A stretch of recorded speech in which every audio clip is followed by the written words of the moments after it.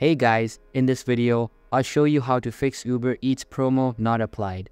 Alright, let's begin. First of all, I suggest reinstalling your application. So just close the Uber Eats app, press and hold on it, and then tap on the Remove App button. Again tap on the Delete App feature to confirm the action. After we have done this, we will need to re-download it from the App Store. Now that is the first thing that you can do. And for the second method, open up any type of preferred browser and get to this Help Center forum. So if your promo code didn't apply, we'll first need to click on the profile icon at the bottom of the main screen and then click on Promotions. After that, tap on Account and then we have to select Promotions. So if you don't see your promotion there, you can click on Past Promotions and then from there, you will get an option to fill out a form if you didn't actually receive your promo code.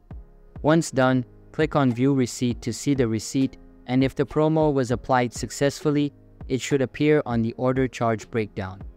If the promo was added to the order but the discount didn't apply, we will need to fill out the form below and they will look into the issue. So that's basically how you can fix Uber Eats promo not applied.